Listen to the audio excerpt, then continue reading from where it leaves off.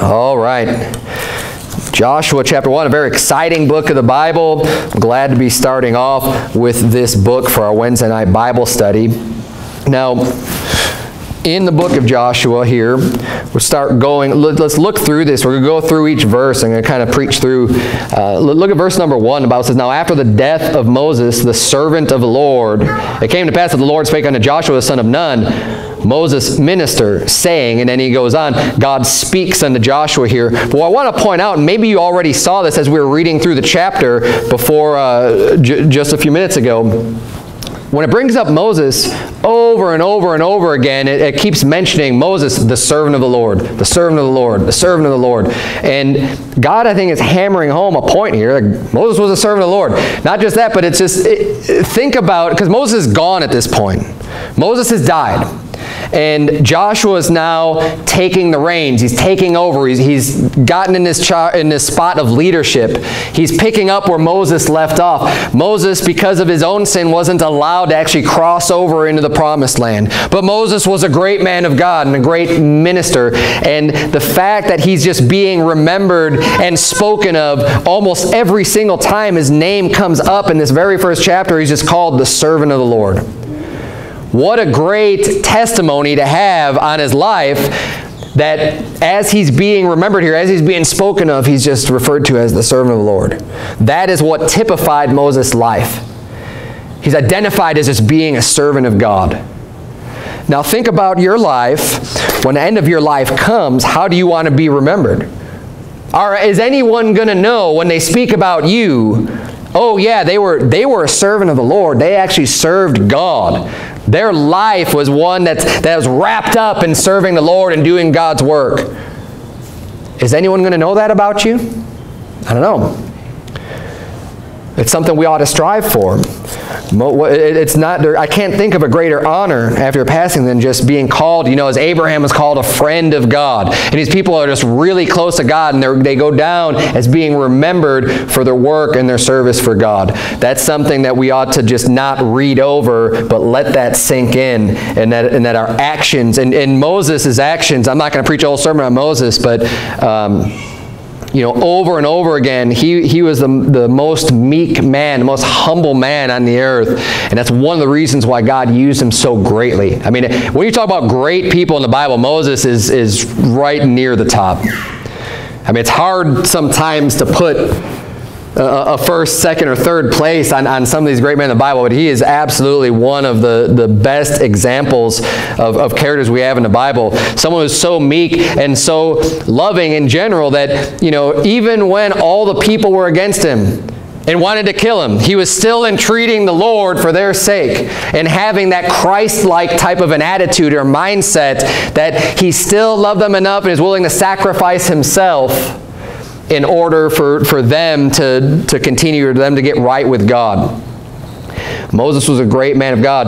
Now, what I also want to point out here, just in verse number one, is that the Lord, it says in the, latter half, the Lord spake unto Joshua the son of Nun, Moses' minister.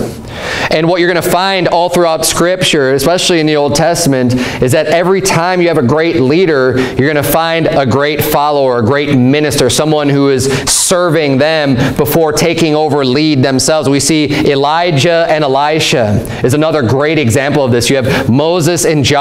So every one of these great leaders has a, a, a very solid right-hand man, if you will, someone who's serving and ministering to all their needs and everything that they had. Elisha even had Gehazi for a while until there was, you know, evil just found in Gehazi and he kind of ruined it for himself. He ended up going after filthy lucre instead of continuing on to learn from Elisha. And we find Gehazi later on in life, he's just kind of reliving these old stories, telling the king all the things that Elisha did when he could have been the next one carrying the torch and standing strong for the faith. And if you want to do really great works for the Lord, you have to learn first to get the mindset of a minister of someone who is willing to take orders, someone who's willing to serve. Because even Moses, who was a great leader, leading the children of Israel through, out of Egypt, confronting Pharaoh, you know, going through the wilderness, giving them the law, being a great judge, how is he known as a servant? He's a servant of the Lord. And what we see Joshua now is transitioning from kind of being Moses' servant to directly being a servant of the Lord. Now, obviously, anybody who serves, you know, even if, when he's serving Moses, he's still being a servant of the Lord.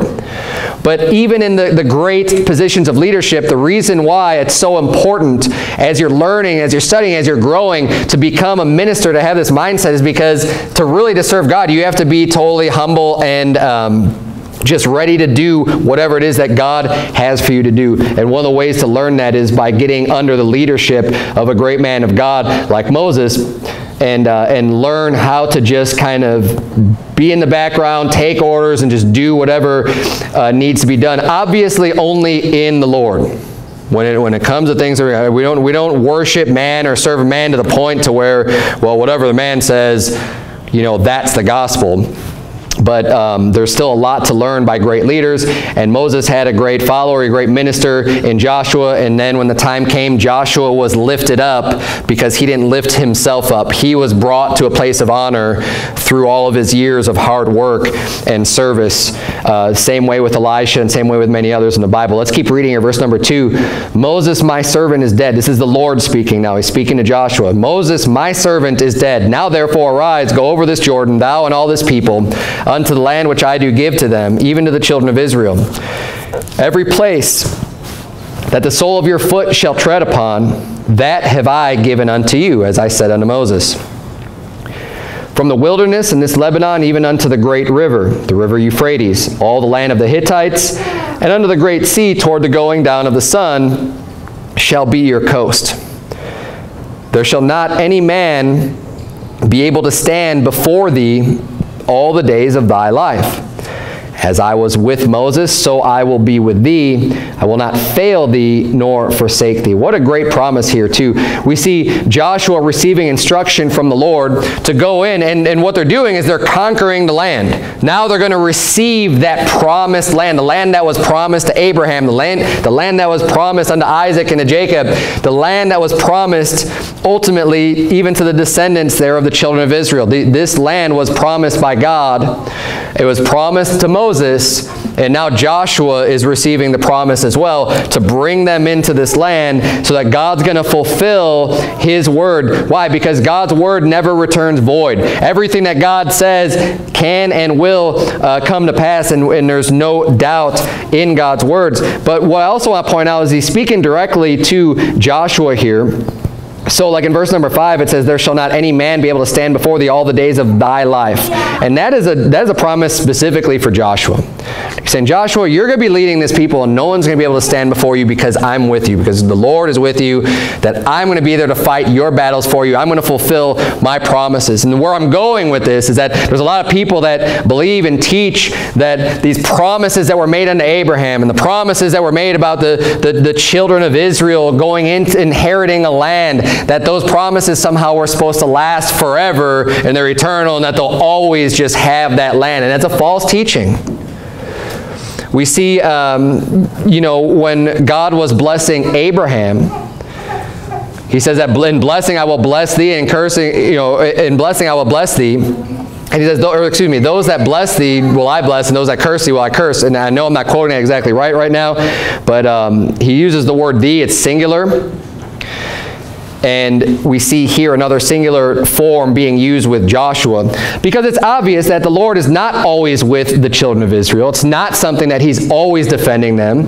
It's only when they are choosing to serve him and when they look to the Lord as their God, that is when he is going to be with them and the power of God is going to be with them to win their battles. But when they forsake the Lord, when they turn away from God, when they turn to the idols, He's no longer with them. He takes them out of their land. And we see that happen. I mean, that, that's history. It's exactly what happened. They were taken out of the land.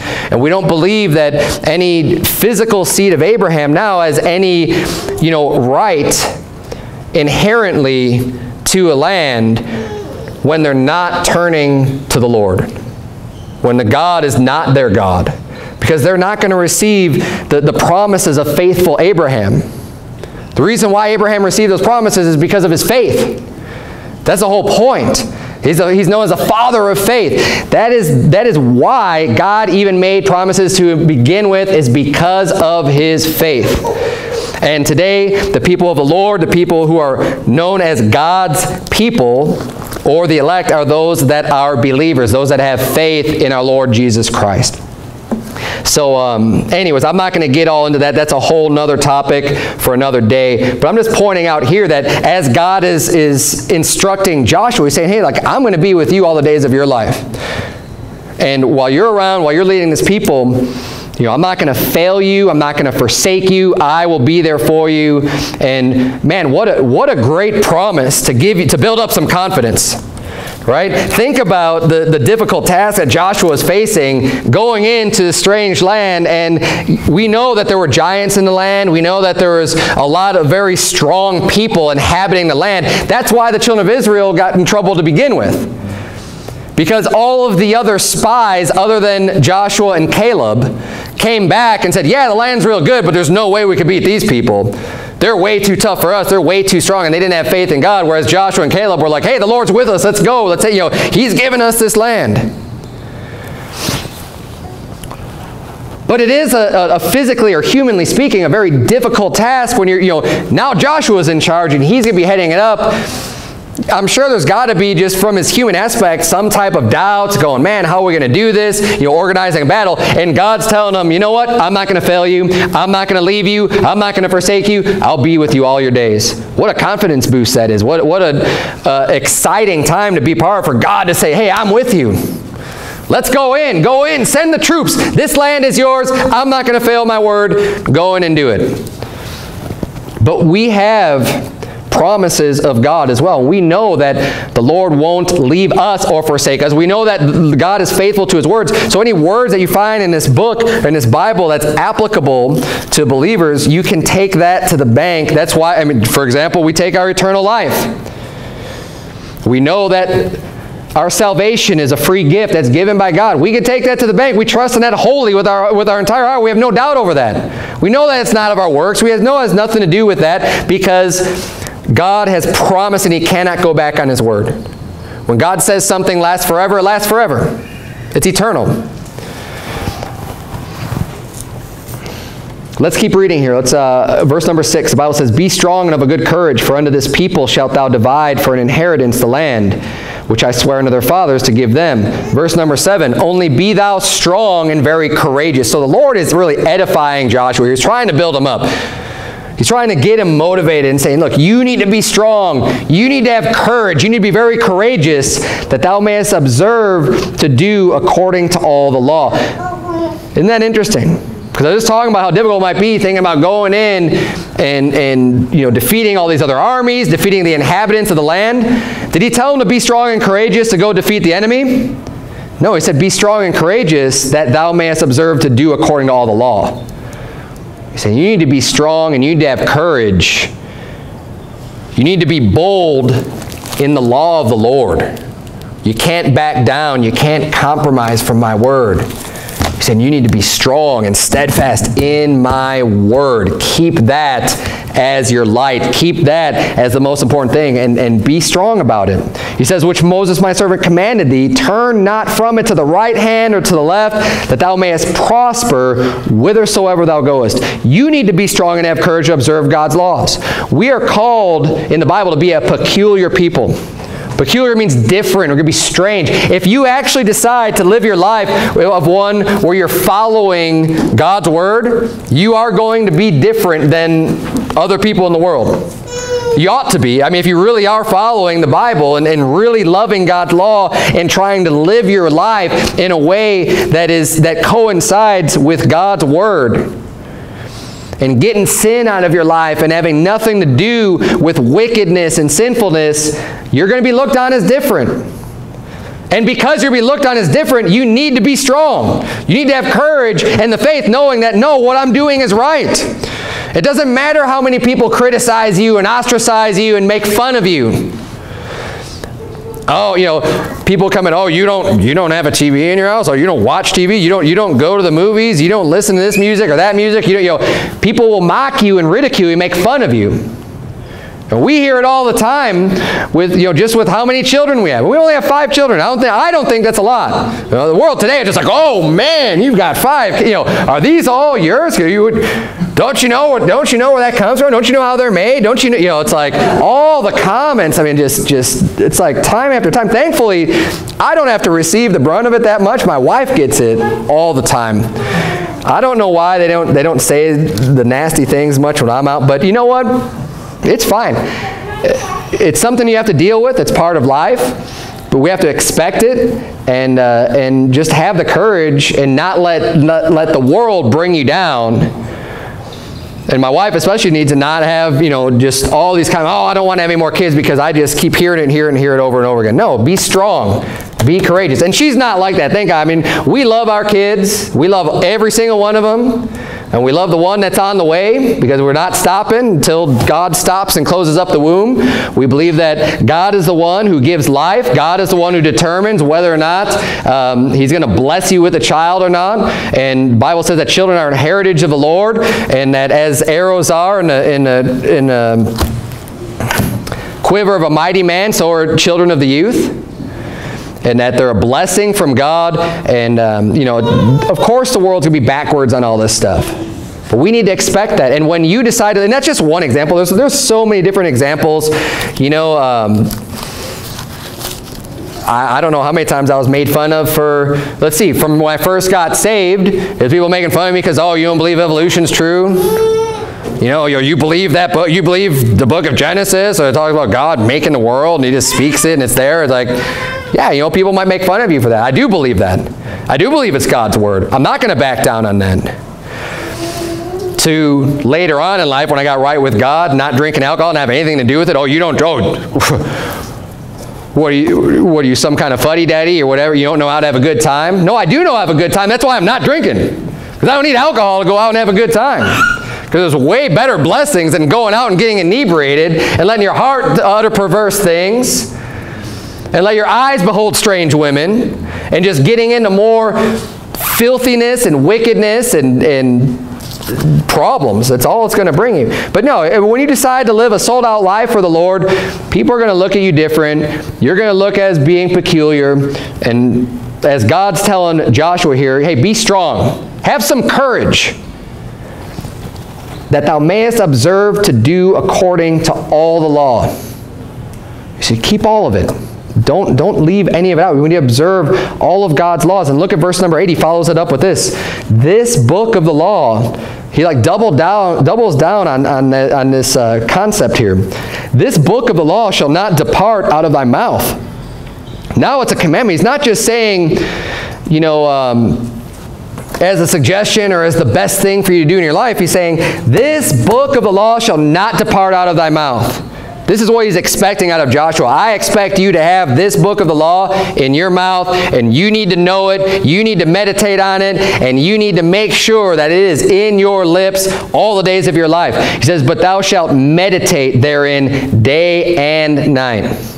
Now here's a challenge for you. How often are you looking and reading through your Bible?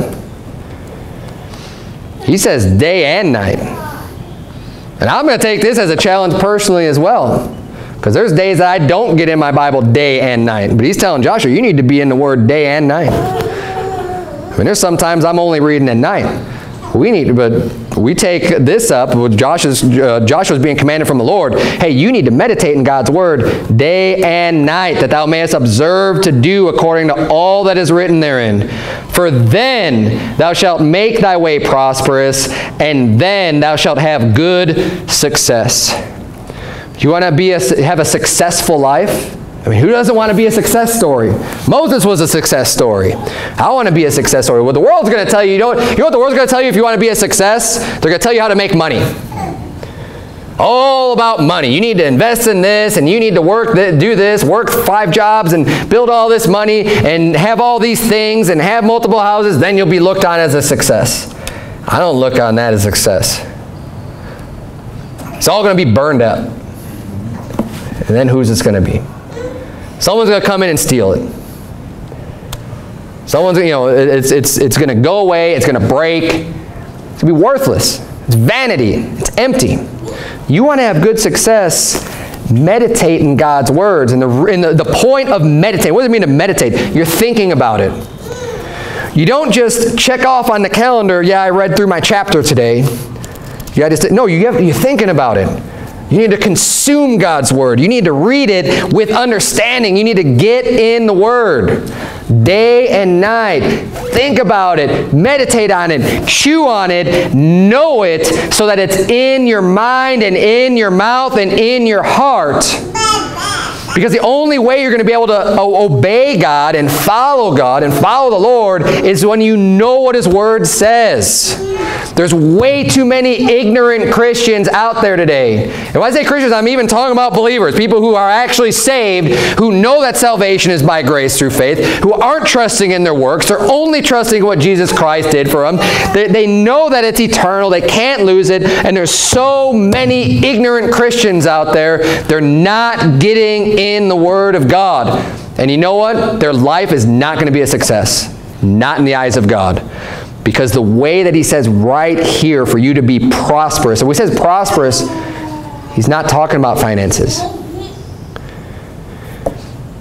We can look at Jesus. Was Jesus Christ prosperous? Would anyone say that he wasn't? Because I'd say that his path was very prosperous. Did he have this world's riches or goods?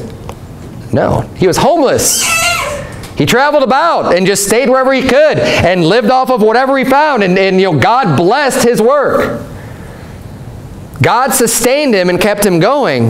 He didn't have, he didn't die with this world's riches and goods, yet he was the most prosperous man ever to walk the earth. The greatest success story. And you know what that is a success? The haters of God talk about Jesus Christ as a failure because he died on the cross, because he was crucified and he was shamefully entreated. There's even a, you know, I'm going I'm to get on this. I don't know if I've ever done this before, uh, this specific point. I used to be a big Metallica fan growing up. My number one favorite band. Okay, I'm going to get on this for just a minute because it's important. All right, and, and I, know, I know what it's like to be a believer and want to overlook some things and just not want to deal with some stuff just because your flesh likes the music. All right, but the world's music is garbage. It's trash. We ought not to love the things of the world. And specifically, I'm bringing up Metallica because I know a lot about them. And I know a lot about their music. And they have a song that's called The God That Failed.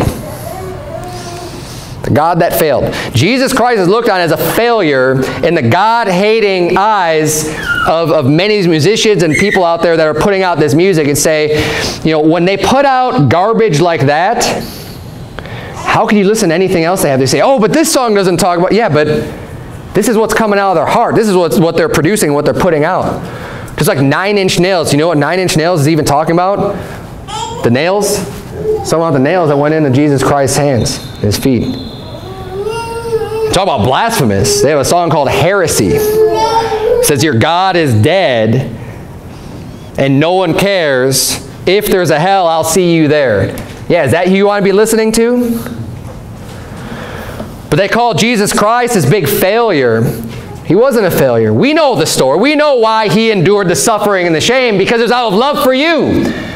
If he didn't do all that stuff, if he didn't suffer the shame, if he didn't allow himself to be beaten and spit upon and buffeted and, and whipped and shed his blood and die on that cross and have his soul go to hell, then your sins couldn't have been atoned for.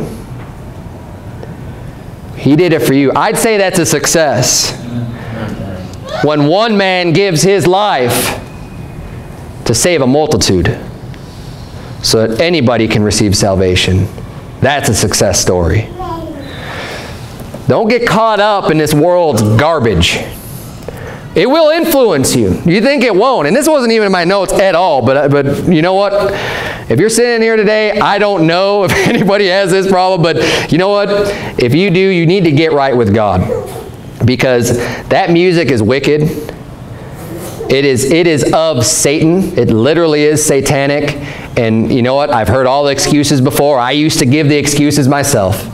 I remember telling my mom back when I was young, trying to tell her, oh, no, no, this is good. They actually talk about Jesus. There's a song called Creeping Death, and it talks about basically when the death angel came and killed the firstborn son in the land of Egypt. And like, that's what that song's about. It's from a very dark perspective, though.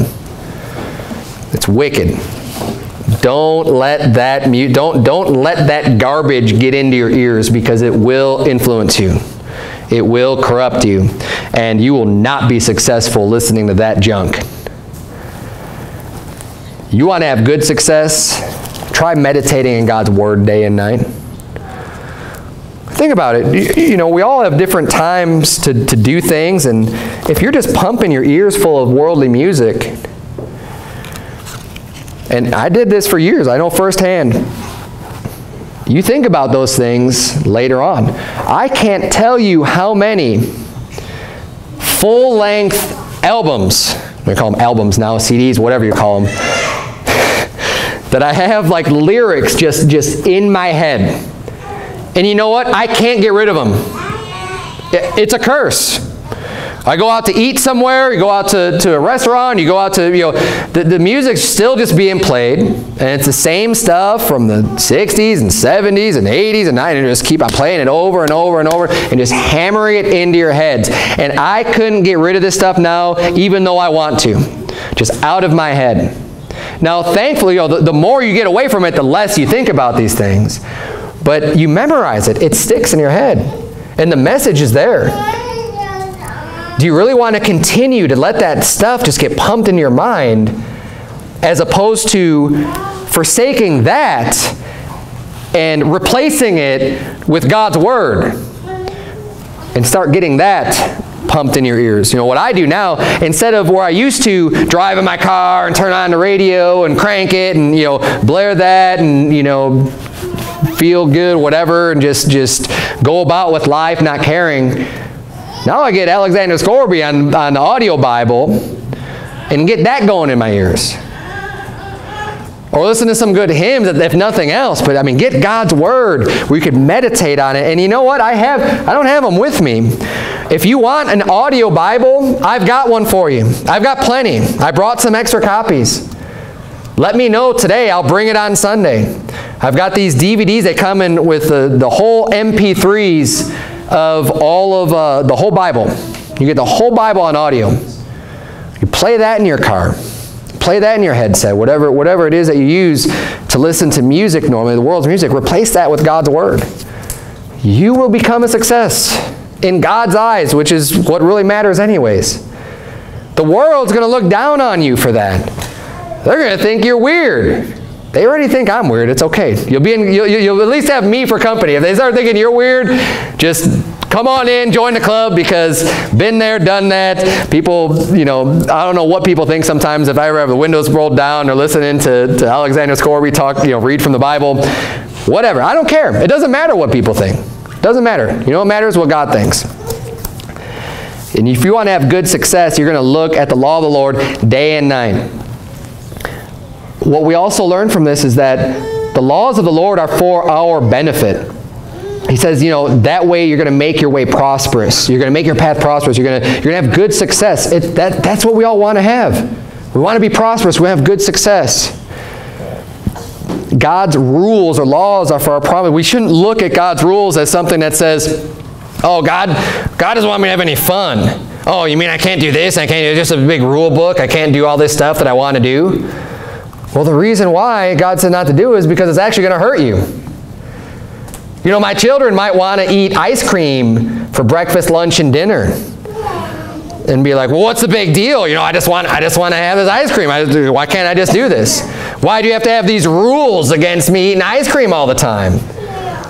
Well, it's for their own benefit.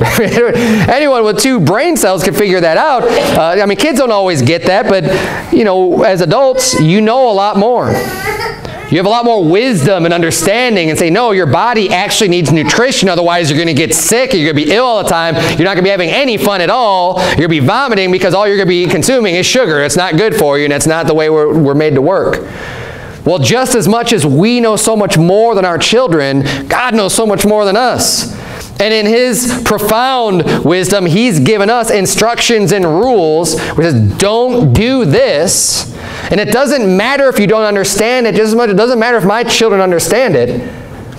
They at least can understand it's mom and dad love me. It's for my benefit, so I'm going to listen to him. And that's the attitude we ought to have with God. You don't always have to understand why God has certain rules in the Bible, certain commands. But we ought to just trust in God that his rules are there for a very good reason, whether we understand that or not.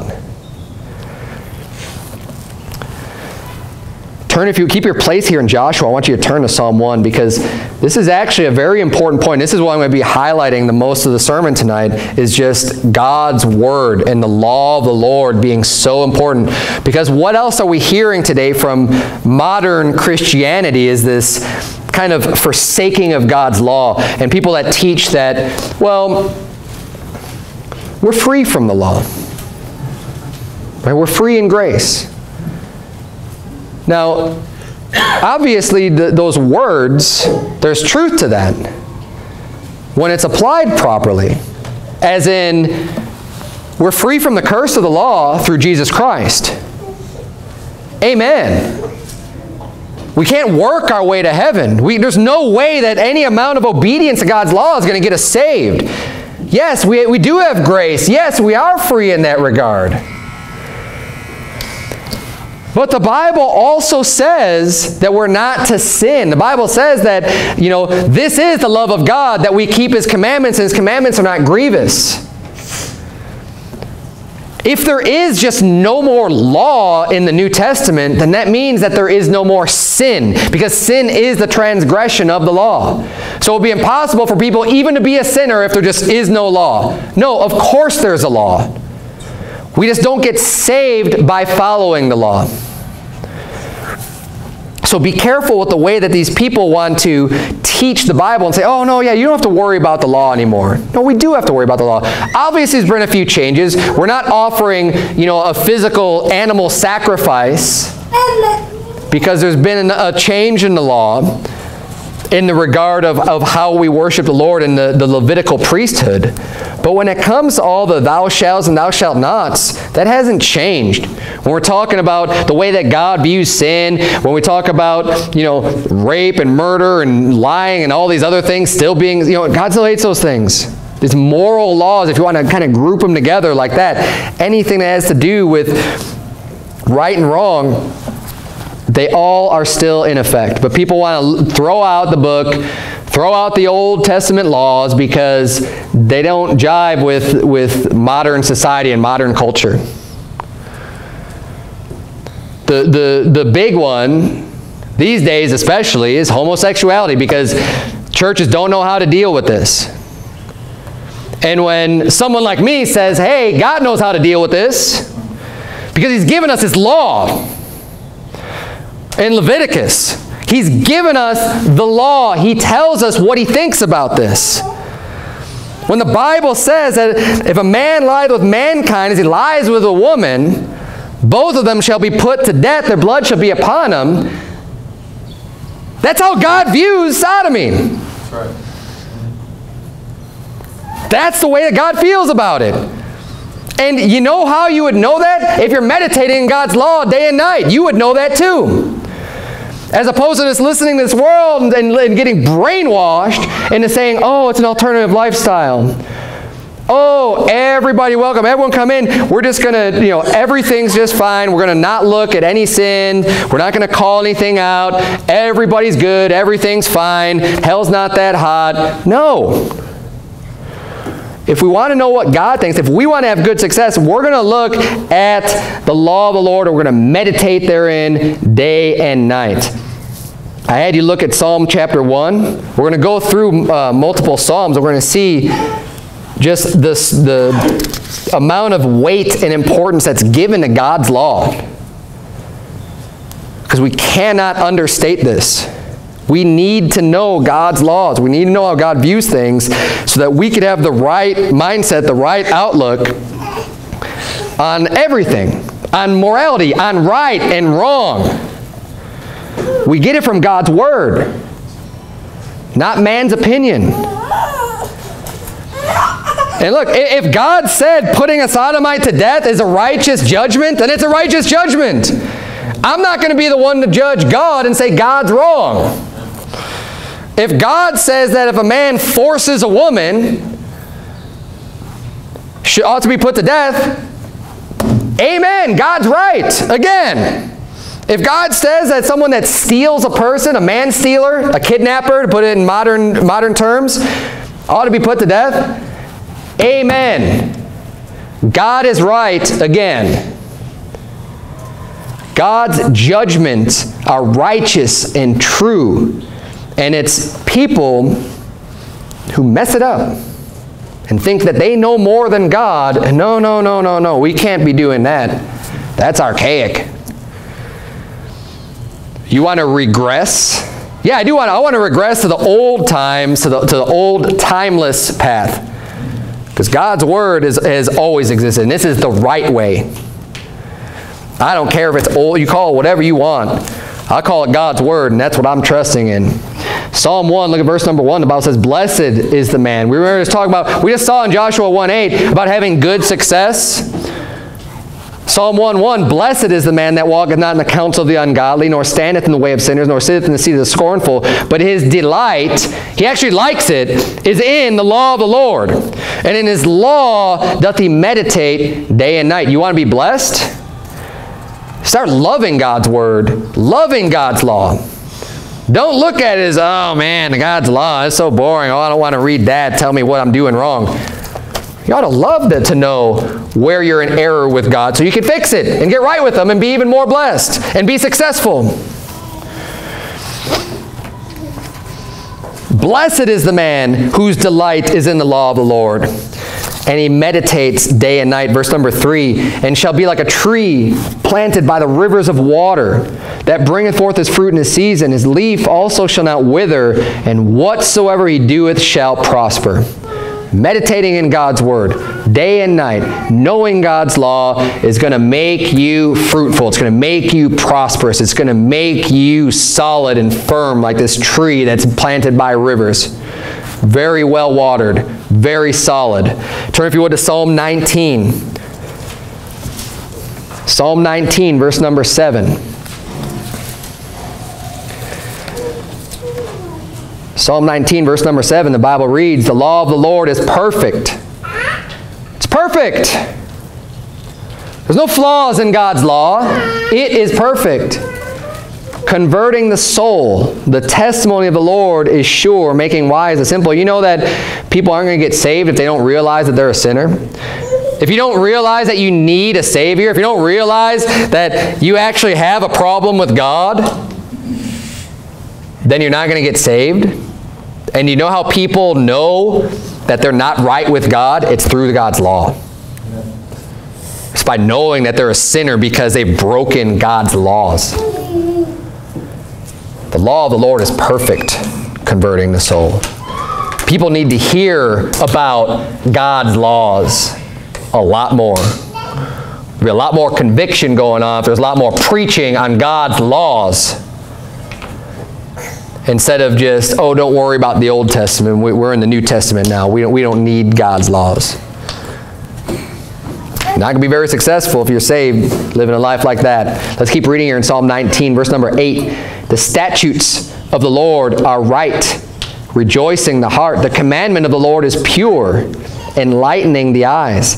The fear of the Lord is clean, enduring forever. The judgments of the Lord are true and righteous altogether.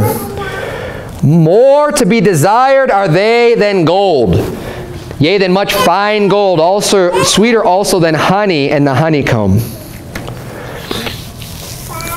You ask yourself how much you would invest and devote of your time if someone told you how to achieve finding a lot of gold. How much of your life would you let that consume? Let's say someone gave you a treasure map. Right? It may sound a little silly, but let's say there was some credence to it. There was some, some reason to believe, no, this is actually, this is legitimate wherever they found it. there's, this map. And if you find this treasure, it's going to be just wealth untold. A lot of people would probably give up everything to go and seek after that treasure. But the Bible's explaining to us we've got something already that's way better than those physical riches that you would be so willing to give up of your time and your energy and your life to go and seek after. And it's right here. And it's going to do you so much more good than that gold or that silver will ever do you. And will make you a success story if you can just meditate in God's Word. Just receive this. This is more to be desired than gold.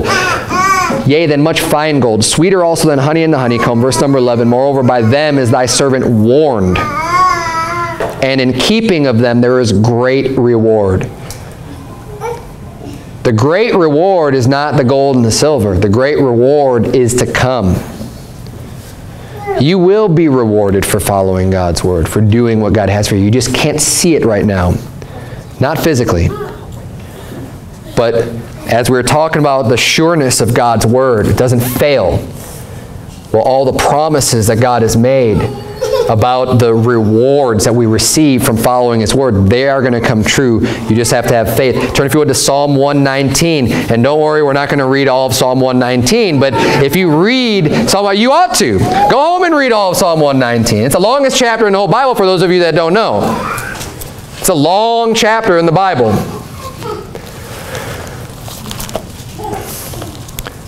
But Psalm 119 is literally all about the law of the Lord. All about the statutes and the judgments and the law. The whole chapter. 176 verses. All about God's law. That ought to tell us something. When we look at the longest, the longest chapter in the Bible about God's law. I think it's important. And we're going to get some, some of the added importance just from reading some of these verses. Look at verse number one. The Bible says, Blessed are the undefiled in the way who walk in the law of the Lord. Again, we're talking about being blessed. We're talking about having good success. God's blessing in your life when you're undefiled. How are you going to be undefiled? When you know what's right and wrong. When you know what God's law is, then you know what the right choice is to make and then you can do what's right. Verse number two, blessed are they that keep his testimonies, and that seek him with the whole heart. They also do no iniquity, they walk in his ways. Thou hast commanded us to keep thy precepts diligently. His precepts are just his rules, his laws. There's so many words that the Bible uses in Psalm 119 to basically talk about essentially the same thing.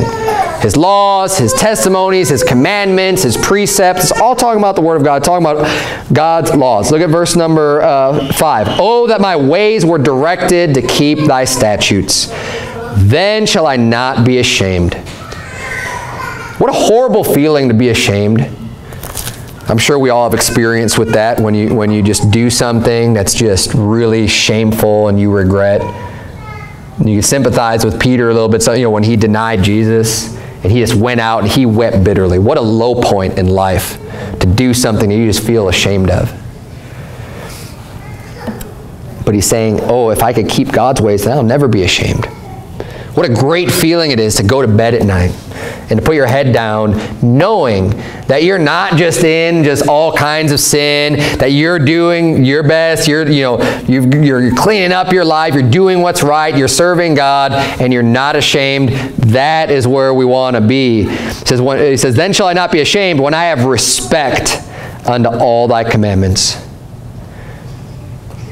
How are you going to know his commandments if you're not meditating there in day and night? And when you're respecting God's commandments, you're actually obeying them. Verse number seven, I will praise thee with uprightness of heart. When I shall have learned thy righteous judgments, I will keep thy statutes. Oh, forsake me not utterly. Jump down to verse number 97, because as we saw in Joshua, he talks about meditating in God's word. We saw in Psalm 1, talk about meditating in God's word. Well, Psalm 119, sorry, verse number 97,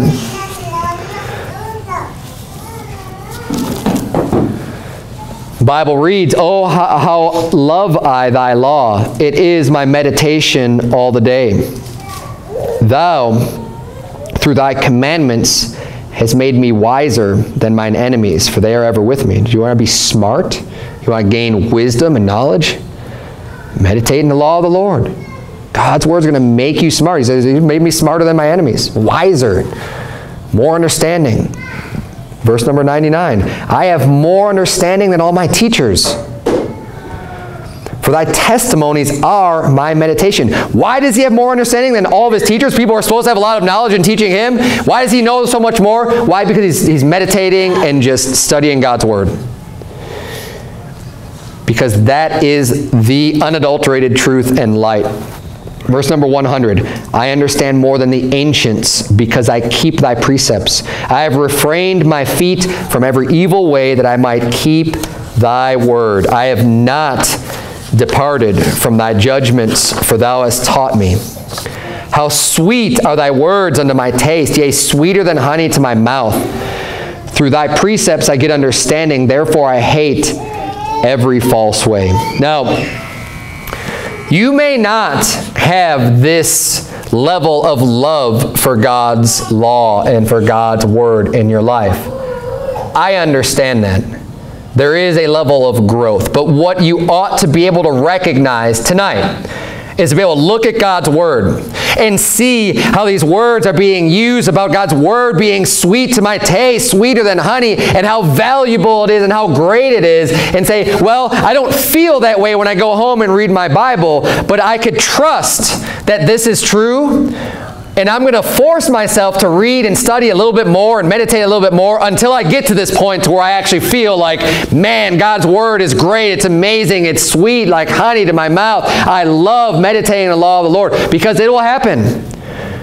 But you have to maintain the faith just to even get to that point. And, and sometimes it does become something you force yourself to do. Okay, I've done it. I love hearing God's word. Now, now still, I still have the flesh, and I'm not, look, I have not arrived, so please don't get me wrong. I'm not saying this to try to elevate myself and say, oh, I'm this awesome Christian. Because I still have the flesh that wants to not ever listen to God's word. But in my own spiritual growth, there are way more times when I didn't want to listen to God's word, and it was more of a chore to actually read and to do it. But as time went on, and I continue to try to maintain a schedule in making sure that I'm, that I'm doing this because I know it's important, it actually becomes more enjoyable and you actually appreciate it more and you start understanding more and you learn more and it grows and builds on itself. And it will do that. So if you're at the place where you just feel like, I don't see how that's ever going to happen, just have a little bit of faith and trust these words that we're reading from God's Word, that it is true, and it will come true, and it will make you wise. It can make you wiser than your teachers. If you are meditating in God's Word and, and treat them as being very, very valuable. Turn back, if you would, to Joshua chapter 1.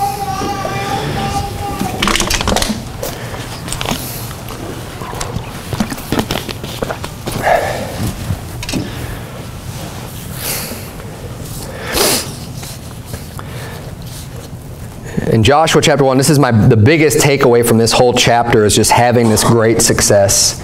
Meditating in God's Word, making that be your light, making that be a, a very, a very solid priority in your life. Let's keep going here. Look at verse number 9. Now we're going to see another phrase that's repeated. Verse number 9, he says, Have not I commanded thee, be strong and of a good courage. We just read that a couple of verses ago in this chapter. Be strong and of a good courage. God is still trying to encourage him. And, and, again, reiterate, you need to be strong. You need to be motivated. You need to have good courage.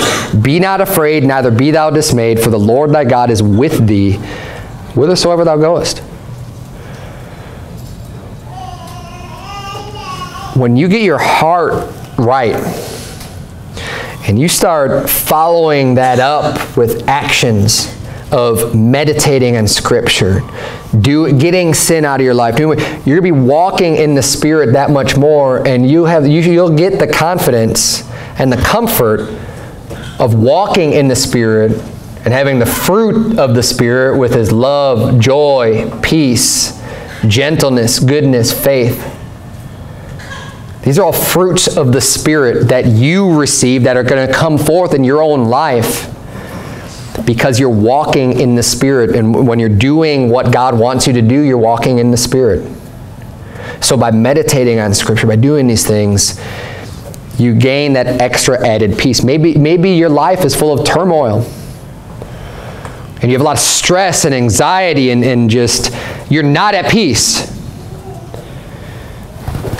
Get in God's Word and try, just try it out. Try it for yourself. I don't see how that's going to help me. I got too many other things going on. Try it for yourself.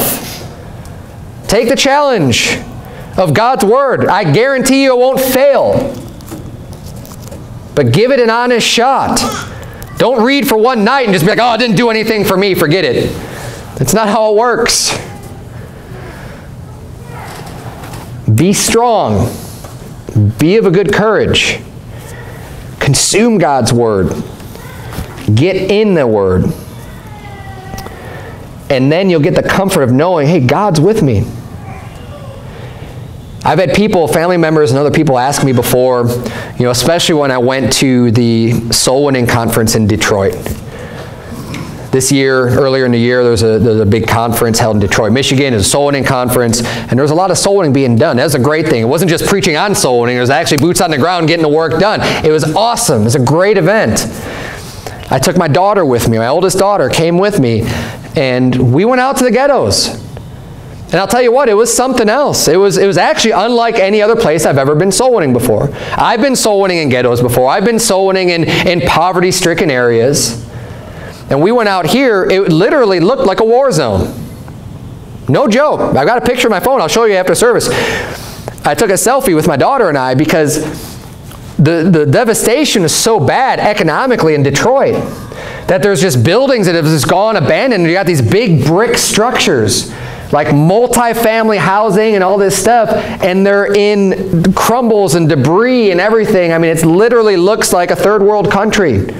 And we're going out and trying to knock on doors, and, and the vast majority of them are vacant and just, just left to rot. In a very bad area, a very poor area, you see, you know, drug paraphernalia and stuff just out on the street and, and just not, not the safest of places, I'm sure, to be in.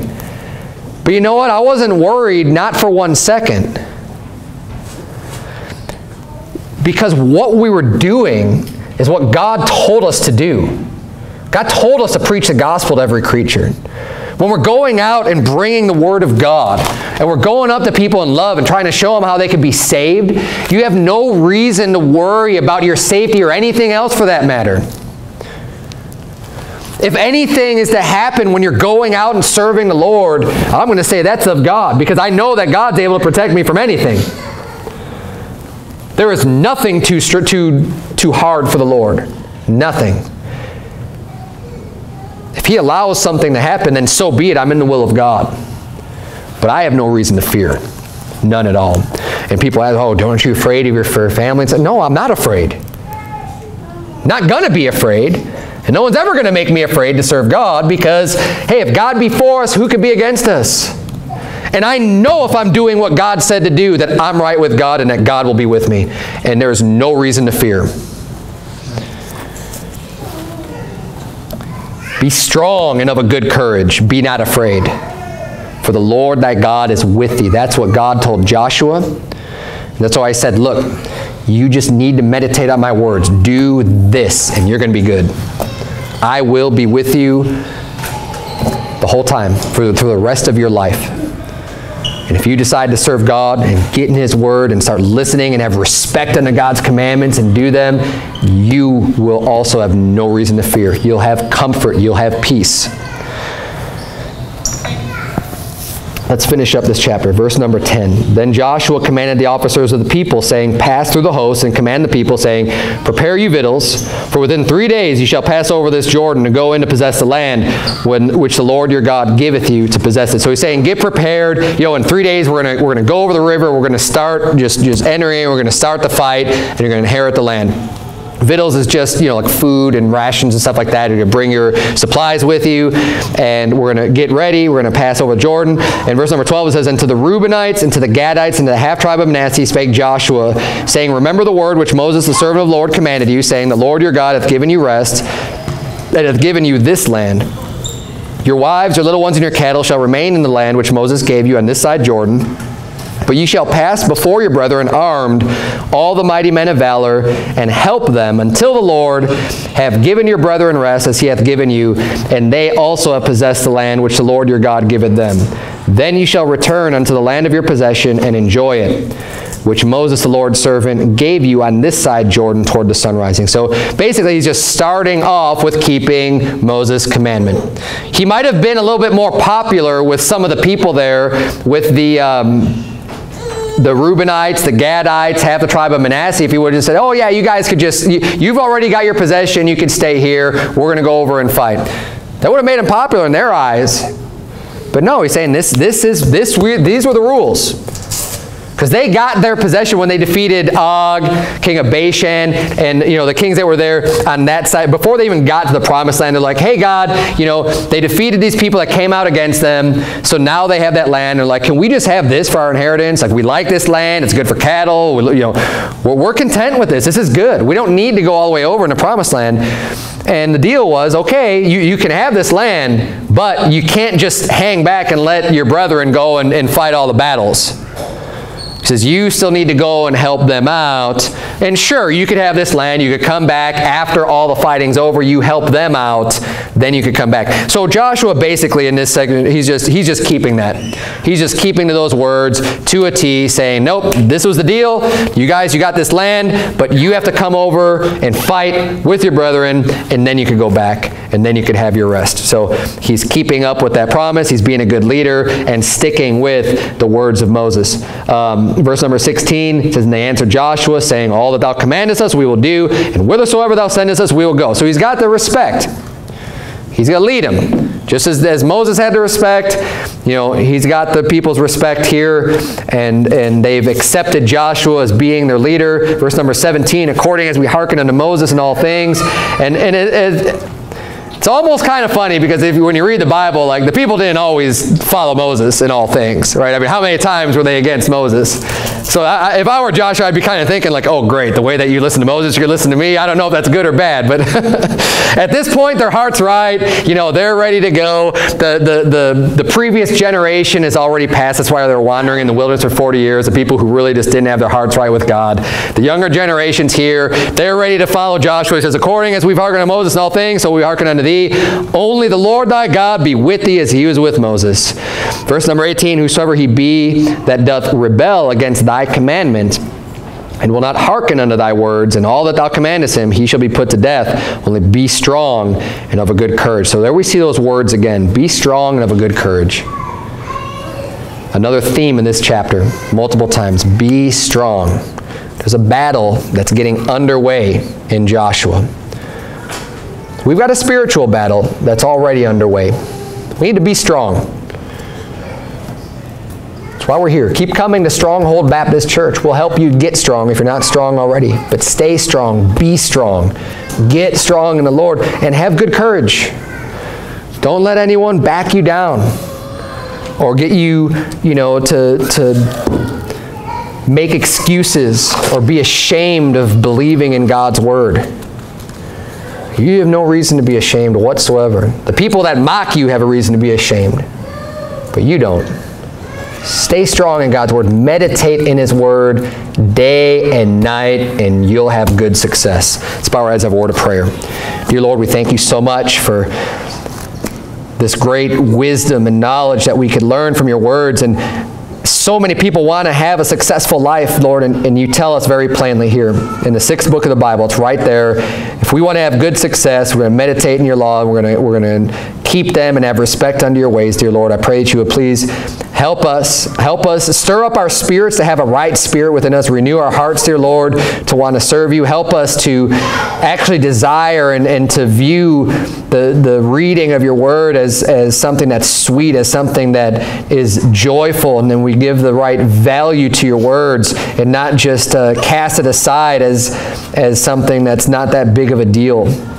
Lord, help us to have the, the proper respect under your commandments and especially in a day that tries to teach us that, oh, these old commandments aren't that big of a deal. They really are, dear Lord. Help us to get the right perspective on your commandments as well as just on sin and what's right and what's wrong in general, dear Lord. Teach us, instruct us. We love you. We want to serve you, God, and just bless everyone here tonight. In Jesus' name.